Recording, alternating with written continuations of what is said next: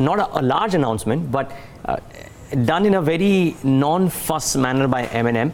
And uh, while the announcement is well known, I'll just run you through what Mahindra and Mahindra has done. They announced this restructured succession plan over the next couple of years. And I just want to very quickly take you through that plan because a lot of you are aware of it. And then the implications of this at all uh, uh, from a brokerage perspective, from what I believe. And we'll get in Menka to talk about this as well. So they, they will redesignate Chairman Anand Mahindra as a, as a non-executive chairman from April 2020.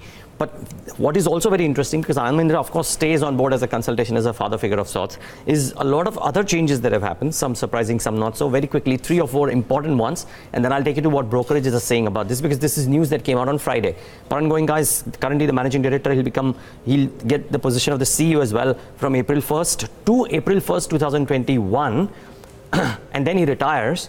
And what's come as a name, which is not generally something that media has spoken to or people don't know about too much is Anish Shah, who's currently the group president of Stra- strategy. He's been appointed as the deputy MD and group CFO from April 1st, 2020, which is the D day from which a lot of changes are happening.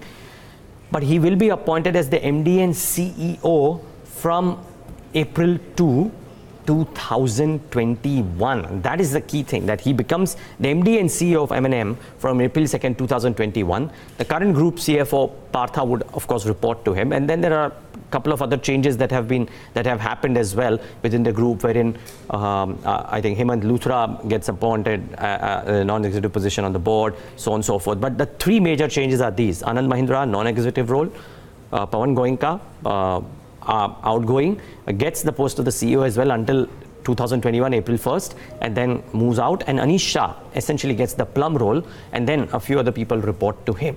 Now, how have people viewed this? And I think to my mind, there was only one question really, the point to ponder is, is this, that will the new management team in, in that sense drive a more definitive focus towards the strategic evaluation of non-core diversification at Mahindra and Mahindra. To my mind, really, that is the one thing to be answered. I don't know how Menka thinks about it, but to my mind, this is the one thing about M&M. A lot of businesses are on their autopilot mode. They will move as per cycles, but can the management look at the uh, non-core diversification. That is the key thing. Now, Goldman Sachs gave out a view on this as well. They believe that over the last few years, there has been very slow progress on non-core diversification, which has weighed in on the core performance. This is Goldman Sachs' view that this has weighed in on the core performance. The highly diversified business structure has resulted in lower valuation multiples. This is the other thing that they are saying. Uh, remember, Goldman Sachs has applied about a 30% holdco discount to listed subsidiaries within the SOTP valuations. And the focus on the core business segments could actually drive additional value for Mahindra and Mahindra as a company and as a stock, is what Goldman Sachs has said. Now, this is, of course, one brokerage view that has come out. I gave you what I thought as well. Very important to get in the perspective about, about what how how non-fussed was this whole announcement about a large index stock, their succession plan, and what could the implications of this be? Menka Johnson on the phone line. Menka, uh, just I mean the change in Anand Mahindra's role, but also the view on how this whole process has been carried out. Hey, good morning, Neeraj. Well, you know, it's, it has been exactly as you said, a non-trust uh, you know, non-drama process, quietly done, uh, to the extent that there was some expectation uh, that this process was underway and had been reported, uh, you know, by the media in the months prior.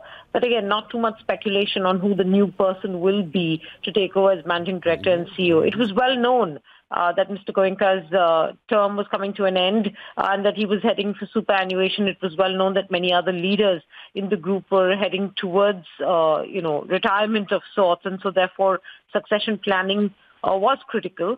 Uh, but you know, un- unlike most other Indian companies, uh, M&M, I must say, has managed to pull this off rather quietly. But two important points to make. One is the change in Anand Mahindra's role. You've spelled it out for re- uh, readers and viewers. Uh, and I'll just make a couple of quick points there. Now, it was expected that he would move to a non-executive directorship. Uh, mostly because there is a SEBI regulation that kicks in April 1st, 2021, and that uh, to April 1st, 2020. My apologies.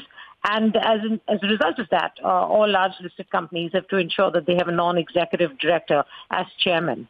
Uh, so Mr. Mahindra has simply only just advanced his non-executive directorship by a year or so uh, because he's currently 64, and I think that might have been something that he would have done only after 65. So the regulatory push is one important reason. But even then, I mean, you know, I think it's worth noting that Keshub Mahindra, which was probably the second generation, second or third generation at um, the Mahindra Group, was executive chairman for almost 50 years. Anand Mahindra, who took over executive chairman from him in 2012, has been so only for seven years.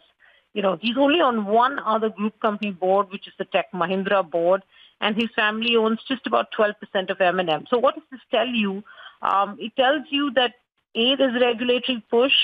B, Anand's always had the approach to building a non-dynastic, professionally managed, federated structure see with 12%, it's justified that he stays non-executive as chairman, even though his family name has been lent to the company. And I, I must say that Mr. Mahindra had prepared all of this for several years now. In fact, just this January in Davos when he spoke to me and I asked him, given that nobody in his family was really very keen to participate in the management of the operations of Mahindra and Mahindra or the group companies, how would he view the ownership of this in the years to come? Uh, and he had said that we'll take a family office view. I think that is the way we would look at it. Whatever role my family plays in the future, it will be one to goad the professional management into preserving our wealth and enhancing it. I'm quoting this from an interview he gave me in January this year. He also spoke to ET a couple of years ago where he did point out that we don't view Mahindra as a family business. My grandfather and grand uncle, this is KC and JC Mahindra, who founded the company, started it in a wave of patriotism in 1945 and saw themselves as custodians of public money and trust. So we've never viewed ourselves strictly as a family company. I thought for many years that I'd be a filmmaker, and that didn't bother my father at all. There are absolutely no dynastic inclinations in my family. He said this in response to a question when asked why his daughters weren't working at the company, and he said there is no force, force on them to do so. So that's what I had to say about change in Anand Mahindra's role from an executive chairmanship to a non-executive chairmanship. And I think that's important to note. But it I is. think here's what's even more important to note, which is that two gaps have currently opened up in the succession plan, Neeraj. Yeah, Minka, and, and that was my question because on Friday when we looked at this news as well, uh, there were. I'm not saying from a capability perspective, but from the names that you would usually expect, there is there is a, a change in the leadership deck. What do you think about the new leadership at the management level? So, uh, I, you know, I must confess, I'm not offering a personal opinion. I'm just looking at the information regarding the new leaders. I'm just trying to point out some key critical capabilities, right? For instance, uh, you know, Anish Shah, who, like you pointed out, will be Deputy MD and Group CEO, CFO for one year, starting April 2020, that's next year. And then he takes on the mantle of MD and CEO for four years. Equally importantly is the second appointment that's happened, Neeraj, uh, that we haven't discussed so far, and that's the appointment of Rajesh Jejurikar as Executive Director of the Automotive and Farm sectors for five years starting April 2020. So what do you have? You have two very senior people in place uh, that are effectively going to run M&M, which is the parent of a conglomerate, and M&M, which is an auto and tractor company, in fact, the largest tractor company in the world. So now take a look at what Anish Shah's core expertise is. Uh, again, I'm putting this out on based on public information that was filed with the stock exchanges. He's an MBA from IIMA, a Carnegie Mellon PhD in corporate governance. He spent 14 years at GE Capital. His current group, her current group role at M&M is Group President Strategy. And, you know, the, the filings describe his primary focus at work being on strategy, digitization and data sciences, group synergies, risk management, developing talent. So he's more a strategy and finance guy, uh, which is excellent, uh, you know, with regards to being suited to run a large conglomerate. You made an important point on the fact that as a holding company, uh, there is a certain burden on the stock price of M&M, and how they view themselves as a conglomerate in the years to come will be very important for shareholders. Uh, and maybe, you know, Anish fits that part of the role really, really well because he comes with a finance, corporate governance, management background. Uh, let's take a look at Rajesh Jejurikar's core expertise, SPJ and MBA, executive programs at Wharton and Manchester Business School. Manchester is a manufacturing-oriented business school, so that's important to note. He's worked in packaging, in advertising, in media. He joined the M&M automotive sector as VP marketing in 2000.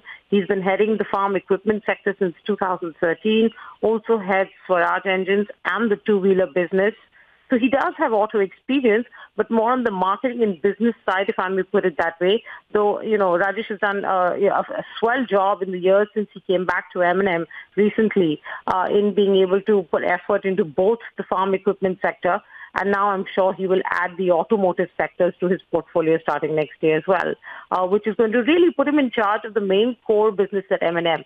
So if you imagine Anish Shah taking on the role of uh, the MD and CEO that looks at the conglomerate, uh, and looks at the financial structure, looks at the strategic management, you have to know that the core business at M&M, which is auto and farm, uh, will actually be handled by Rajesh Jejurikar as executive director of those businesses. But here's what's missing. This is the person that they're replacing, Pawan Goenka, who came from IIT Kanpur, where he did a BTech, Cornell PhD, and executive program at Harvard Business School. He worked at General Motors in the R&D Center for 14 years before he joined M&M. He joined M&M in the R&D section, led the development of Scorpio. He then was appointed executive director of auto and farm sectors in 2013, which is the role that Rajesh Jejurikar will take on next year. He then went on, which is Pawan Goenka went on to become managing director in 2016. And so the point I'm trying to make is Pawan Goenka came with the understanding of automotive building. He came after 14 years at General Motors R&D. He spent so much time in M&M R&D. So that technical experience is quite evidently missing both in Anish Shah and in Rajesh Jejurikar. Um, for an auto company, I would imagine that might be something critical to have or maybe they'll find another way to supplement it. I don't know the answer to how they'll fill that gap that Mr. Goenka leaves. Uh, they have Anish Shah and Rajesh Jejurikar taking on critical roles and doing a good job. But this one gap that Pawan Goenka leaves, uh, that neither of the two have, you know, necessarily the training or the ability to fill, uh, that I think will be interesting to see how M&M deals with that. Because at the core of the parent company's business, is auto, right? So I think that's one important gap that opens up. And the second gap, very briefly, uh, whilst Anish Shah takes over as uh, Deputy Managing Director and Group CFO next April, and he holds on to that role till April 2021, um, there is no mention of who will be CFO thereafter because Anish Shah progresses to becoming Managing Director and CEO uh, April 2021. V.S. Parthasarathy steps down as CFO starting next year. Uh, and so who will be the group CFO once Anish Shah moves on to group, uh, moves on to MD and CEO in April 1st, 2021? There's still time to answer that question. I imagine that's one unfinished part of the business. Uh, for the nomination and remuneration committee at M&M. It'll be important for us to know who the group CFO will be, um, but we don't have any names just yet. So that's the second gap, uh, Neeraj, that has yet to be filled. I'm sure it will be filled in due course. Uh, but I just wanted to point out these two things. Yeah, well, interesting perspective. Uh, and Minka, thanks so much. It's important to get this simply because, uh, I mean, as much as you looked at corporate India for so many years, uh, you looked at autos and M&M in particular, so many people that you know out there as well. So important to get that perspective. Thanks so much for uh, joining in and giving us that very perspective.